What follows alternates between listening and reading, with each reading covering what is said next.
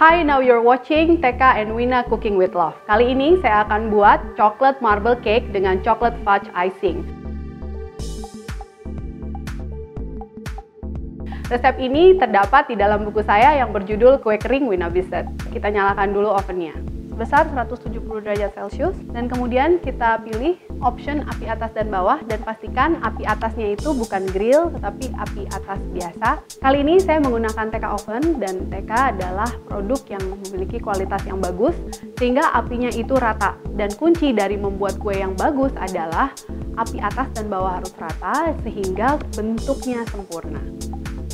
Setelah ovennya saya nyalakan, sekarang kita mulai uh, buat kuenya. Bahan yang pertama yang kita butuhkan adalah mentega tawar sebanyak 300 gram. Gula pasir 275 gram. Dan sedikit vanilla ekstrak. Oke. Kita mix terus sampai warnanya itu pucat dan creamy ya. Kemudian kita masukkan telur. Ini ada 5 butir telur. Nah, kalau udah tercampur seperti ini, in between kita harus scrape lagi. Supaya adonannya itu nggak pecah. Kemudian telur yang kelima sampai dia tercampur rata seperti ini. Lalu kita masukkan tepung terigu. Tepung terigu ini sebanyak 300 gram. Kita tambahkan baking powder sebanyak 4 sendok teh. Kemudian kita masukkan, tapi sebelumnya kita ayak dulu. Ini penting sekali untuk mengayak, karena supaya airy, jadi kuenya itu mengembang dengan sempurna. Kita masukkan susunya, sebanyak 5 sendok makan. Then you mix it again. So you have to fold it like this. When it's mixed through, kita put aside dulu. Kemudian kita akan buat yang adonan coklatnya. Kita ambil dulu sebanyak satu setengah sendok makan Dutch cocoa powder. Kita campur dengan air. Airnya ini bisa air yang hangat. So it's easier for us to mix it. Pisahkan sebanyak seperempat adonan ke bowl yang bersih untuk adonan coklatnya. And the next thing, we mix the chocolate paste to the batter that we already put aside. Setelah tercampur rata seperti ini. Kemudian kita olesi loyangnya dengan mentega yang suhu ruangan. Oke, kita harus bagi adonan ini menjadi empat. Pertama kita masukkan dulu yang putih. Anak saya biasanya lebih suka yang coklat, so then I can put more. And then you can put another white batter. Ini adonan putih yang berikutnya. This cake is very simple and very easy adonan yang coklat lagi. Then you can use chopstick like this, putar seperti ini supaya cantik adonannya.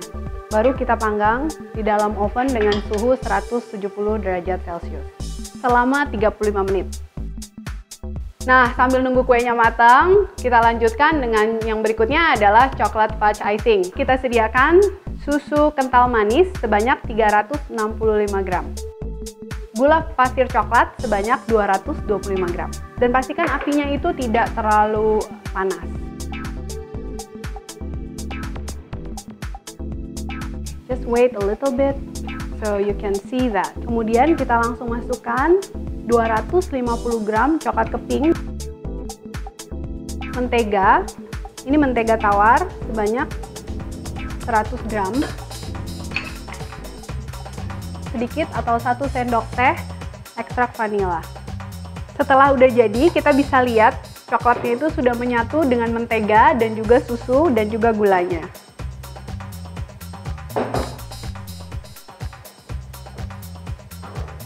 Sebelum kita keluarkan, kita cek dulu apakah kuenya itu sudah matang, benar-benar matang. Nah, kita bisa lihat tidak ada adonan yang terpisah, berarti sudah siap untuk kita ambil.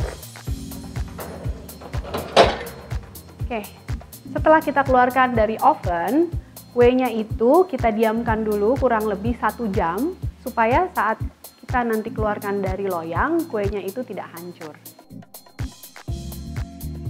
Then we can use this. Vanilanya tadi membuat kuenya itu baunya jadi harum. So this is our chocolate marble cake with chocolate fudge icing.